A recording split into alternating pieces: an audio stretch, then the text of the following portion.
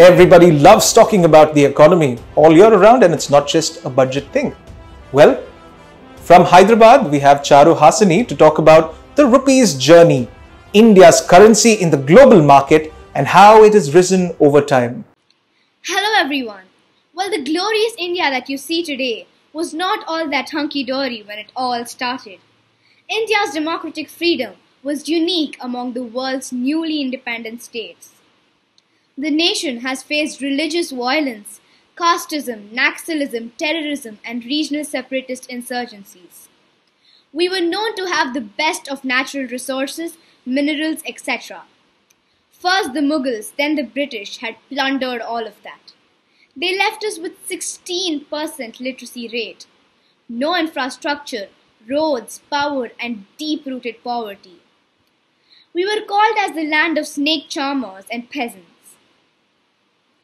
Today, India is the biggest democracy with the average age being 29, which means we are potentially the youthful, productive, dynamic, young population ready to work and transform the world.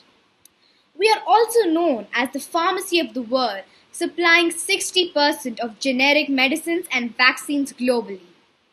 And the most dominant service sector contributes to 55% of India's GDP attracting significant foreign investments and providing large scale employment with an expanding IT industry. India is considered a technological superpower and the world's office.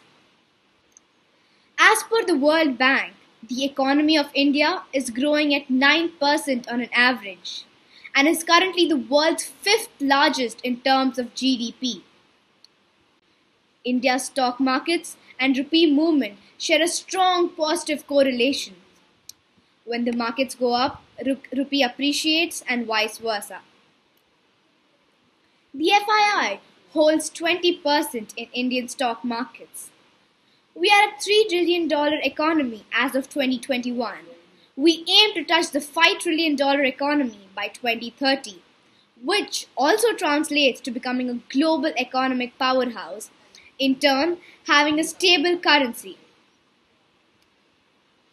According to me, simply put, the next 75 years, India has to reach the 95% literacy rate. There has to be equal distribution of income between all strata of people. Skill and reskilling to be prioritized. Inclusive growth. Moral leaders and businessmen.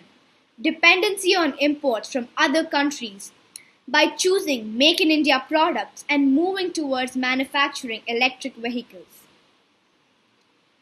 It took us 75 years to reach where we are. We may just need half the time to become a global superpower, provided we do the right things in the right way. I also believe India should be a permanent member at the UNSC with the economic and military might by 2030, which can have huge influence like the other superpowers. Let the world hear it loud and clear. India is awake we shall prevail and we shall overcome. Thank you.